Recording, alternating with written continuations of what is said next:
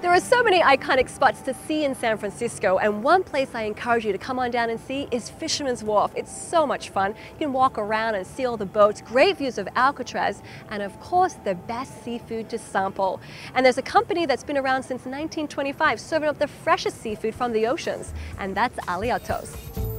Overlooking the Golden Gate Bridge, Alioto's is an icon of the Fisherman's Wharf culture and maintains an air of class about its dining experience.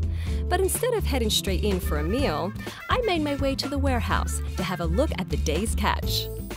Oh my goodness, look at this. So great to meet you. Nice, nice to see you. Wow, ah, Thank nothing like coming. fishy hands. I love it. I love seafood. Fresh fish always smells good. It doesn't smell bad. It certainly does. And Alioto's has been around for a very long time. I mean, I, I read about your great grandparents uh, fishing off the dock.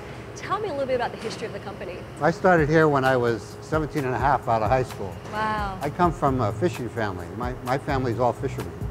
So my dad used to fish here locally for salmon and crab. And generations later, here we are, uh, the best, freshest seafood here in San Francisco.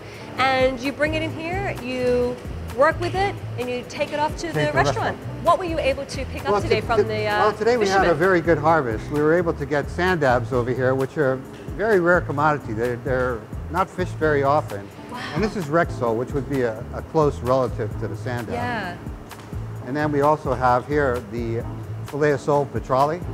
Oh, okay. What type of dishes are you making with the seafood? Well, on the menu we have salmon dishes and we have oysters, we have the sand dabs, the, the crab.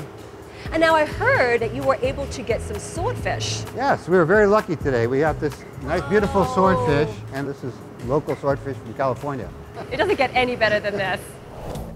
Would you like to learn more about any of the great destinations we've visited or dive a bit deeper into some of the topics on the show? Then we've got a destination for you. Visit athomewithdidiayer.com. There you'll find a world of ideas and inspiration designed to give you insights towards a happier, healthier lifestyle. Again, that's athomewithdidiayer.com.